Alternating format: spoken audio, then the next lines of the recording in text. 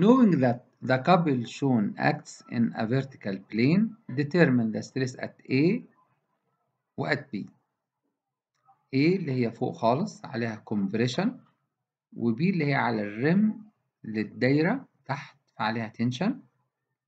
ارتفاع ال A 30 ارتفاع أو بعد ال B عن السنترويد هيكون 20 من نص القطر 20 طبعا الشكل ده أول حاجة أحسب له ال I ال I بتساوي I rectangle ناقص الاتنين دواير دول hollow فناقص اتنين I circle ال rectangle واحد على اتناشر العرض في الارتفاع تكعيب اللي هو بي في اتش تكعيب ناقص اتنين ال circle واحد على أربعة pi r أس أربعة. هنعوض بالقيم. مية وعشرين ملي تبقى point one two الارتفاع ستين ملي يبقى point o six كل تكعيب.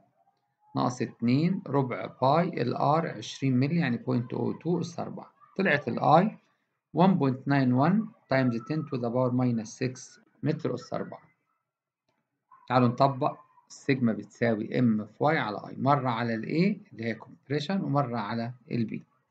بالنسبة ل A هحط إشارة minus لأن compression.